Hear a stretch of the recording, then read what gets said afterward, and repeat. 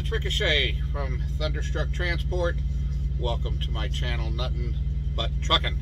So today, I just wanted to answer a quick uh, thing on the uh, personal conveyance. Uh, there seems to be still uh, some issues, people not quite understanding. Even my company uh, has put out several uh, issues regarding it. And basically, the what it comes down to is according to the FMCSA, you can use personal conveyance anytime you are off duty, regardless if you have a load or you are empty. As long as it is not for the benefit of the company, and of course your company allows you to use it, that is up to the company. Uh, they can let you use it or not. Personally, I don't think they should because the FMCSA allows you to do it. Uh, then I think they should too because it saves on your time. So just a couple of examples. If you are loading or unloading at a shipper or a receiver, and that's the last thing you're going to be doing that day. You know, when you're done, you're basically going to head to a truck stop, a rest area, or whatever, and you're taking your break, you can use personal conveyance to get to that location. Uh, it has to be the nearest spot that you are going to be taking that break, and you still have to finish out, of course, your, your full break.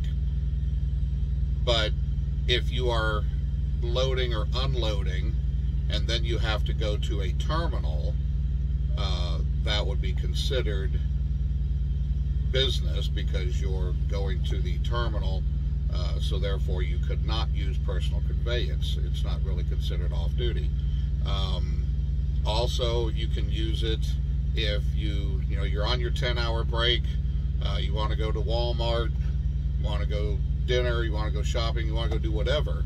Uh, whether you have a trailer on board or not, whether you are loaded or not, you're off duty and you're using it for personal needs, if your company allows you to use your vehicle for personal needs, then you can log that as personal conveyance, off-duty personal conveyance. Um, so basically, the way that the website or the DOT FMCSA regulations state, as long as you're not advancing the load for the purpose of uh, the company, you know, you have to be completely free of all duties. Uh, I used it last night. I got empty at about 930 in uh, New Jersey, and the only closest truck stop, my closest fuel stop, was the Petro, uh, about 50 miles. Uh, we were done for the night. I had no load even at that point because I just emptied and I was starting my 34-hour break. Uh, so I personally conveyed down here to the fuel stop. This is the only fuel stop uh, that we're allowed to use. That was the closest fuel stop. Um, there were two rest areas or service plazas uh, one of them was completely closed and the other one was full.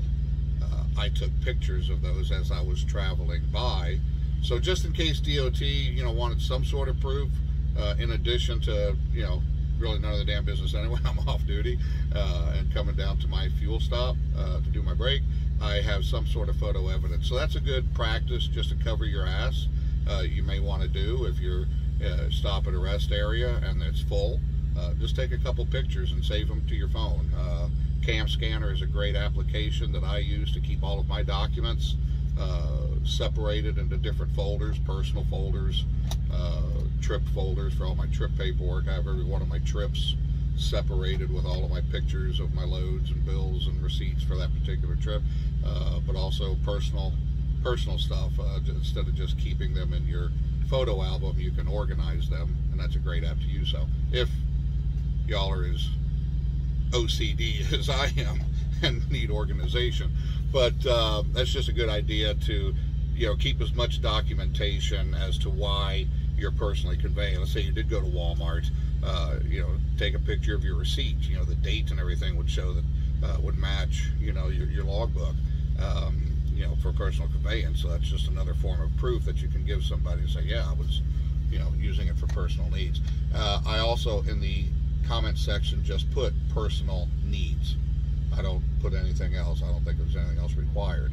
Uh, that was something, and I don't think there's anything in the FMCSA that states what you have to put. Uh, the company I'm leased to, uh, they uh, suggested that, and that's what I do. Um, my company that I'm leased to also kind of micromanages uh, our logbooks a little bit, so they'll they'll add things that I didn't add. So I just kind of look at what they do, and I just kind of follow them as well, uh, whether it's compliant with DOT or it's just their company thing. Uh, some of the things they do is really just CYA, so you know it's, it's, a good habit to get into, even though it may not be required.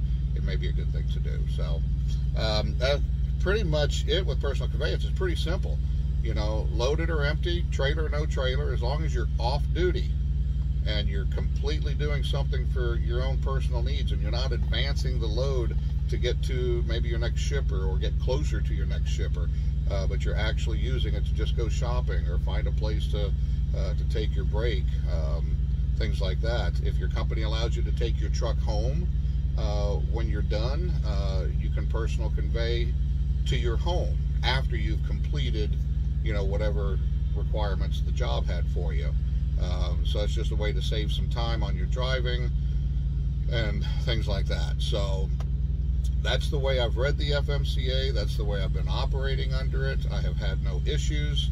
Um, that is my understanding. If uh, you, I'm, again, I am by all means no DOT person, so don't take what I am telling you as the gospel. Please research it for yourself.